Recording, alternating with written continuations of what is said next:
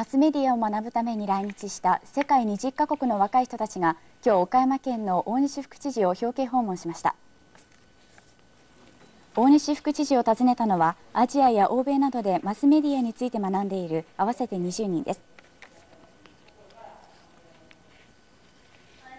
一行を迎えた大西副知事は岡山で大いに歴史や文化に触れて視野を広げてそれぞれの国で活躍してくださいと激励し岡山県を訪れた記念に備前焼のマグカップを贈りました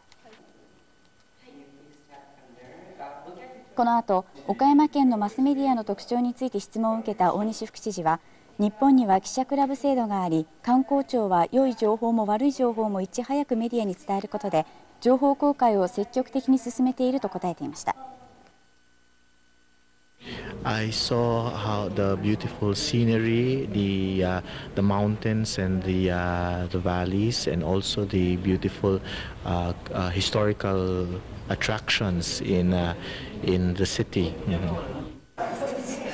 一行は5日間岡山に滞在しマスメディアを専攻する大学生と交流を深めたり地元の放送局や新聞社を見学したりすることになっています日本のマスコミ事情や文化などを視察するため来日している海外の青年グループが今日 OHK 本社を訪れました。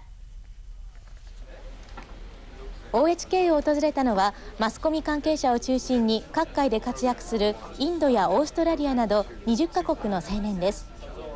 一行は担当者から放送局の業務内容について説明を受けた後スタジオや編集室などを視察しました。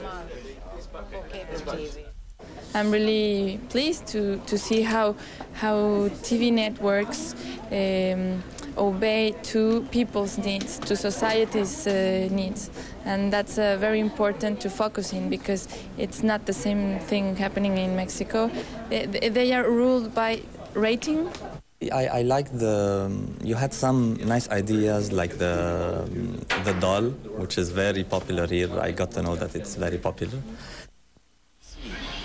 一行は国際的な相互理解を深めようと内閣府の招待で来日しているものであさってまで岡山に滞在する予定です、